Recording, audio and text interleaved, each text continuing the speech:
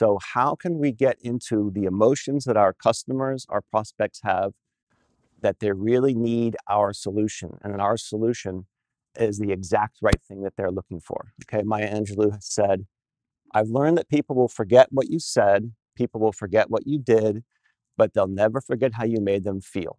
Okay, I think the saying in EO now is uh, stories stay, lessons learned. Did I get that right? So that I'm learning from, in the case of EO, it's that with 63% of people recalled a story from a presentation, but only 5% recalled a statistic. And our job is to make those statistics relevant. Maybe they're a good entry point to the story you want to tell. It's a story that we'll remember. Okay, how can we identify and alleviate these feelings? Being out of control. As business owners, we know that feeling of being stressed, not having enough time to get things done. These two together are my favorite. Understaffed can cause you a lot of headache, but also overstaffed can cause you stress and headache because you've got people on the bench you got to pay, not doing doing it enough. Okay, not having enough time to get to everything.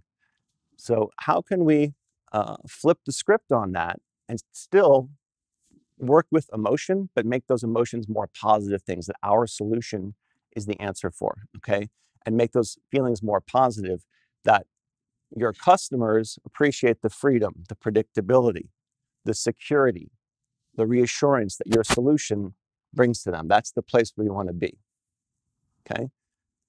Of course, we need to get that information from people, and they don't always want to share it right away if we don't know them yet, or it's a little bit harder to get to. So, how are we going to get to that point of eliciting that information from people we want to be working with?